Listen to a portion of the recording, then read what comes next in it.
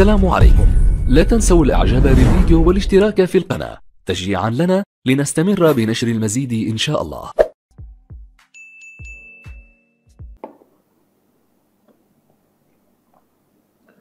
اتفضل يا أستاذ محسن. يمكن المشاركة أستاذ وليد. اتفضل بخصوص آية التدريب الكلام اللي فضلت لحضرتك قبل شوي. أولا لازم ترجع لتاريخ المصادر عندكم. صحاح كتب الصحاح لازم ترميها بالنيل وتوجه المسلمين اللي يسمعون كلامك وذيك الآراء كلها ما لها ما لها صح قبل أن تتوجه إلى نقاش الشيعة ناقش مصادرك الموجودة في الصحاح والمسانيد. وكتب المفسرين والله أنت ما عارف أنت بتقول إيه. والله أنت ما عارف أساسا أنت بتقول إيه. طب واحدة واحدة واحدة. واحدة واحدة. واحدة واحدة. واحدة واحدة. اسم أبو المهدي إيه؟ نعم. أبو المهدي اسمه إيه؟ صوتي قطع أبو المهدي اسمه إيه؟ الإمام الحسن العسكري وأبو علي بن أبي طالب اسمه إيه؟ منو؟ أبو علي بن أبي طالب اسمه إيه؟ اسمه عمران بن عبد مناف والله ده أنت طلعت كويس أهو الحمد لله رب العالمين. ممكن بقى تقول لي كده الذين آمنوا جاءت جمع الذين آمنوا جاءت جمع لماذا جاءت جمع علي بن أبي طالب مفرد؟ هذا للتعظيم. التعظيم إيه؟ إذ كان الله عز وجل في الآية لم يعظم والنبي صلى الله عليه وسلم لم يعظم. انت أستاذ وليد مو سؤال يا أستاذ الان انت دلوقتي الآن أنت قلت لي للتعظيم. اسمعني بس. كيف الله عز وجل لم يعظم في الآية والنبي صلى الله عليه وسلم يعظم في الآية ويتم تعظيم علي بن أبي طالب؟ شلون؟ أنت جاي تشرح آية التبليغ. وبندت تقول ولا النبي يا أستاذ خلينا دلوقتي من آية التبليغ دلوقتي. خلينا من آية التبليغ دلوقتي. خلينا من آية أنت قلت للتعظيم. كيف الله عز وجل لم يعظم؟ والنبي صلى الله عليه وسلم لم يعظم ويعظم علي بن أبي طالب. خليه يطقطع نعال وركبه أول قطر وينزل في المحطة الجاية مش لازم يقعد للآخر.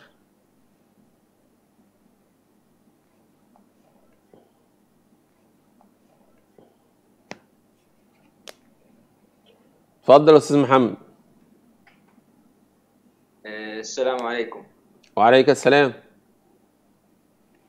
آه، الموضوع أنا شفت أنت كاتب بالعنوان مال يوتيوب آيات قرآنية. فأنت شلون تحب نتناقش؟ حضرتك إحنا بنتناقش في آية الولاية. لماذا الله عز وجل لم يعظم في الآية والرسول لم يعظم في الآية؟ وكلمة الذين آمنوا قلتم أنها تعظيم لعلي بن أبي طالب. شلون يعني؟ كيف الله لا يعظم والنبي لا يعظم ويعظم علي؟ من رخصتك دقيقة. آه، أولا آه، أنا ضد شغلة إنه تأخذ آه، كلمة واحدة على كل الشيعة. مثلا إذا طلع مرجع واحد أو شيخ أو أي عالم قال اعتقاده إلى مو يعني إنه الشيعة كلهم نفس الشيء تمام؟ هاي أول نقطة. فهذول العلماء يدرسون ويشرحون هاي الشغلات. فهذا إذا كان هذا الحكي صحيح هذا لا يعني أنه علي بن أبي طالب عليه السلام أحسن من الرسول سلام الله وصلواته عليه وعلى أهله الطاهرين. على العموم. شكرا ليك. على العموم شكرا ليك لأن وقت البرنامج أساسا انتهى. طب يلا. بقول طب اللي معانا ده مين مشي خليه يكمل طيب. اي قاعد احكي. طب اتفضل. تمام. فهذا النقاش مثلا إحنا عندنا إحنا عند الشيعة. إنه إحنا ما نعبد علي أو نقول إنه هو إله أستغفر الله. لا إحنا عندنا الله أكبر شيء. بعدين الرسول وبعدين أهل بيته اللي هم المعصومين ال 14 فإحنا نقدرهم ونحترمهم. بس لهم مرا- مراكز خاصة هاي شغلات إلهية مو أي واحد يقدر يعرفها. اللي علي علي بن أبي طالب سلام الله عليه هو عالم وبالنسبه للشيعة أكبر بكثير من بالنسبة للسنة. لكن هذا لا يعني أنه أفضل من الرسول. طيب أنا بس بسألك سؤال. يعني إزاي آية يكون سياقها واحد ولا يعظم الله عز وجل ولا يعظم النبي صلى الله عليه وسلم ثم يقولون أن علي بن أبي طالب معظم فيها. ألا وهي إنما وليكم الله ورسوله والذين آمنوا. فقالوا الذين آمنوا هي في علي. قلنا لهم الذين آمنوا جمع وعلي مفرد. فلما جمع علي بن أبي طالب؟ قالوا للتعظيم. فهنا وقعوا في إشكالية. كيف الله عز وجل في الآية لا يعظم والنبي لا يعظم ويعظم علي بن أبي طالب؟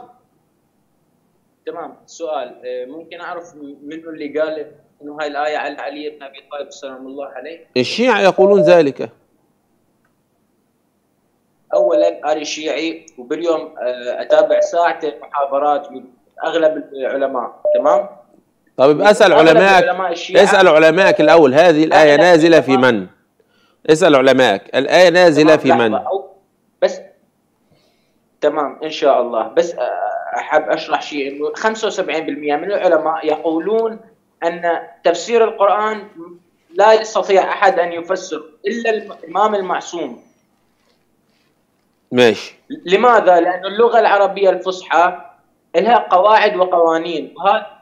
وكلمة واحدة حتى لو أنت فهمت المعنى مالتها ممكن ممكن تجيب إنه واحد يفهمها بأكثر من طريقة، فالطريقة الصحيحة اللي تفهم بها بس الإمام المعصوم اللي يقدر يفهمها، هذا عند الش- علماء الشيعة والمنطق يعني. طب سؤال بس يعني ونجيب طيب تفسير القرآن منين؟ يعني الآن إحنا عايزين طيب نفسر القرآن نجيبه منين؟ تمام. إحنا سؤالك يعني إذا بس الإمام المعصوم اللي يفسره.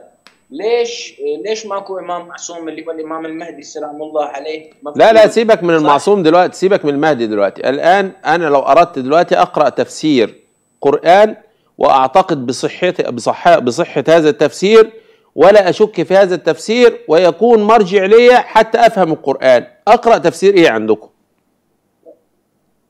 تمام. لهذا عندنا مراجع إحنا. في القرآن لا يعني شبه المستحيل انه واحد يأخذ منا أكيد. طب لما دلوقتي لما هو في نهاية المطاف نأخذ من واحد زي زيك ممكن من المخطئ من الممكن أن يخطئ من الممكن أن يقع في معصية من الممكن أيضا كمان أن يزني والعياذ بالله يعني من الممكن أن يفعل أشياء كثيرة. هو مثلي مثلك بشر زينا زيك لا معصوم ولا أي شيء. طب إذا كان نهاية المآل أننا نأخذ ديننا من غير المعصوم ونأخذ قرآننا من غير المعصوم ونأخذ التفاسير من غير المعصوم إذا ما الفائدة من العصمة؟ اللي هم الأئمة المعصومين 14 ما هم معصومين؟ يعني ما هم معصومين لذاتهم؟ يعني هم معصومين لنفسهم ولا مع أخذوا العصمة من الله عشان إحنا نستفاد فيها بيها؟ وهو هكذا. طيب إحنا استفدنا إيه بقى من العصمة؟ اديني حاجة واحدة استفدناها من موضوع العصمة. حاجة واحدة. اللي انت ذكرته قبل شوية. اللي هو إيه؟ القرآن. هو فين تفسير القرآن؟ تفسير هو فين؟ دوروا معانا يا اخوانا هو فين؟ على العموم شكرا ليك يا أستاذ. شكرا ليك شكرا ليك. قالوا اتفضلي السلام عليكم. لا تنسوا الإعجاب بالفيديو والاشتراك في القناة. تشجيعا لنا لنستمر بنشر المزيد إن شاء الله.